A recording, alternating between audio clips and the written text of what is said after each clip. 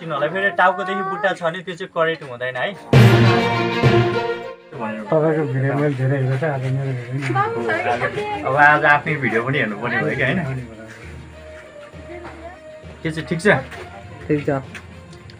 दर्शक बिनाहरू नमस्कार। म स्नेक एक्सपर्ट दिपक नेपाल। अहिले म बाह्रको सिमरा नरबस्ती मुसर्नीमाई भन्ने गाउँमा चाहिँ आएको छु।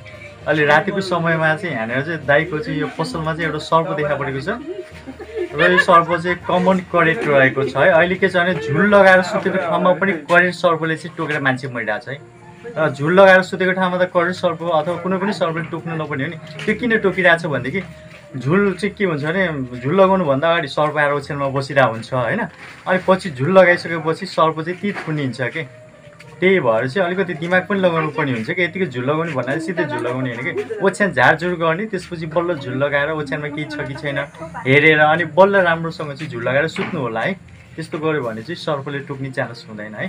झुल लगाउने भनेर चाहिँ पहिले सर्प बसिरहेको हुन्छ अनि पहिले झुल लगाएपछि झन् सर्पलाई भाइन ठाउँ हुँदैन।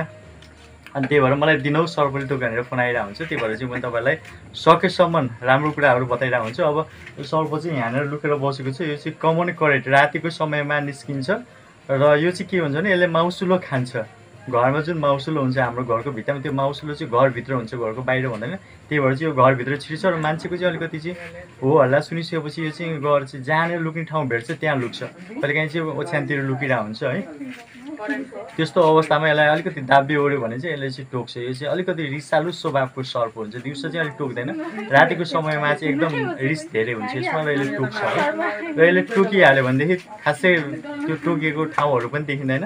र यसले टोकिसकेपछि चाहिँ मान्छेलाई बाँच्न चाहिँ अलिकति गाह्रो पर्छ है। अब यो सर्प चाहिँ कस्तो ठाउँमा छ म तपाईँलाई देखाउन गइरहेको छु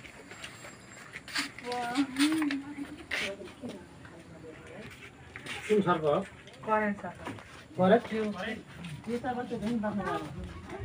यो सर्प चाहिँ यसरी चाहिँ यहाँ बोराहरू राखेको ठाउँमा चाहिँ बसिरहेको छ। अब यसलाई चाहिँ निकाल्न गइरहेको छु। बोरा तान्दाखेरि तान्दाखेरि त्यो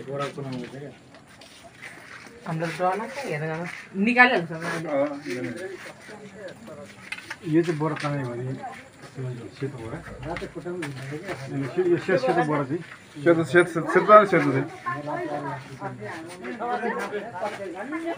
त्यो सेतो तान्यो भने त्यो तपाईँले त्यो ब्यान्डेड करेक्ट भन्नुभयो त्यही भएर मैले चेप्ने कुरो नलिएर आएको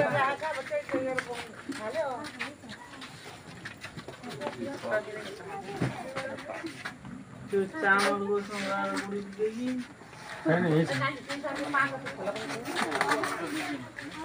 बाहिर थियो? यहीँ यहाँ बाहिर थियो। ऊ त्यो बोरा तान्दाखेरि बोरा कुनाउनु कत्रो थियो कान्ता कतिमा बताइदिनु न।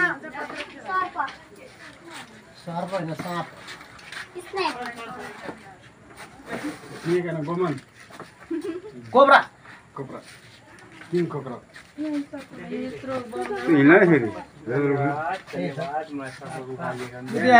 करेट हो करेट हो यो सेतो कर्दो भयो उयो यहाँ यसको टाउको यतापट्टि हो उयो यहाँ टाउको यहाँ आइ। उयो यो तार यो तानत भाइ यो किन किन त्यो क्यामेराम्यान पनि रहेको तर उभिएर आएको कसरी मुसा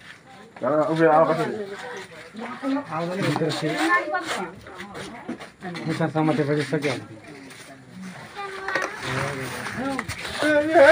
करेट हो यो अस्ति नै त्यहाँ भेटे जस्तो लाग्यो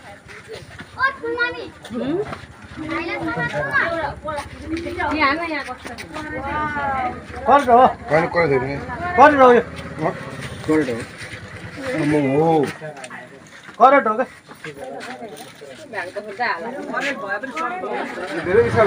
करेट हो त मैले घरमा छिटो लखर करेट हो जङ्गली करेट जस्तो लाग्छ मलाई चाहिँ तपाईँहरूले करेन्ट सर्प चिन्नुहुन्छ अब यो करेन्ट सर्प सुन्नु करेन्ट सर्प चिन्ने तरिका भनेको है। अलिकति टर्च लाइटहरू भए हुन्छ। यो यो चाहिँ तेज छ कडा कडा खालको छ है। यो फुर्तिलो खालको छ यो। एउटा लाटो हुन्छ एउटा फुर्तिलो रहेछ। यो रातिको समयमा फुर्तिलो हुन्छ कि करेटहरू दिउँसो पनि फुर्तिलो देखाएको छु मैले त। यो यस्तो हुन्छ यो करेट सर्प चिन्ने तरिका भनेको। यो टाउको हो नि टाउको? हुन त तरिका यो यो तरिका चाहिँ गलत तरिका हो होइन? तर यो चाहिँ हाम्रो गाउँघरतिर पाउने करेट चाहिँ चिन्ने तरिका बताइरहेको छु है। यो टाउकोदेखि नि यो टाउकोदेखि यहाँ घाँटीसम्म चाहिँ बुट्टा हुँदैन है यति चाहिँ कालो हुन्छ नि अनि त्यसपछि चाहिँ त्यसपछि चाहिँ यो घाँटीदेखि तल चाहिँ यो पुच्छरसम्म चाहिँ सेतो सेतो धर्का हुन्छ है। यसरी चाहिँ करेट सर्प चिन्नु होला फेरि टाउकोदेखि बुट्टा छ भने त्यो चाहिँ करेट हुँदैन है। ल राम्रो राम्रोसँग सर्प हेर्नु होला। यो चाहिँ करेट हो। यही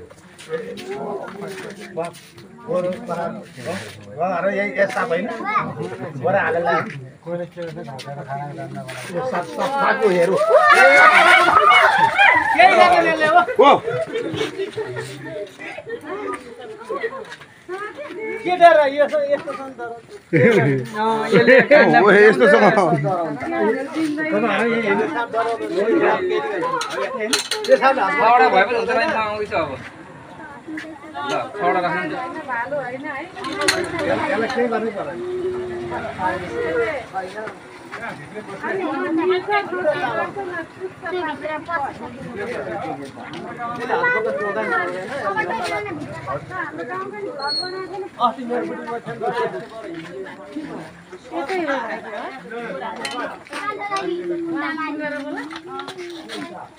अब यो चाहिँ यस्तो हुन्छ है। अब हामी नेपालीहरूको बानी चाहिँ अलिकति खराब के बानी छ भनेदेखि होइन यसो रमिता हेर्न पायो भने सर्प साथै रमिता हेर्न पायो भने हेर्ने होइन। अनि त्यसपछि अलिकति केही कसैले केही बताउनु थाल्यो भने चाहिँ नसुन्ने कि। अनि पछि दुःख परेको बेलामा राति बाह्र बजे फोन गरेर ल दिपक सर यस्तो भयो के गर्ने कसो गर्ने भनेर अनि मलाई सुत्नलाई नदिने कि? अब यो यो सर्प चाहिँ के हुन्छ भनेदेखि यो सर्प भनेको रातिमा निस्किने सर्प हो। बरु दिउँसो गोवन सर्पहरू निस्किन्छ होइन? कहिलेकाहीँ फाटोफुटो निस्किन्छ। सानो र त्यो सानोदेखि ठुलो थियो त्यो पछि बताउनु होला है। अहिले चाहिँ मलाई के भन्न दिनु होला है? त्यसपछि तपाईँहरू बताउनु होला। गोवन सर्प चाहिँ कहिलेकाहीँ दिउँसो पनि निस्किरहेको हुन्छ भने यो चाहिँ दिउँसो निस्किँदैन यो चाहिँ राति मात्रै निस्किन्छ है। अनि यसले खाने भने चाहिँ माउसुलहरू त्योहरू चाहिँ हाम्रो घरभित्रतिर गइरहेको हुन्छ।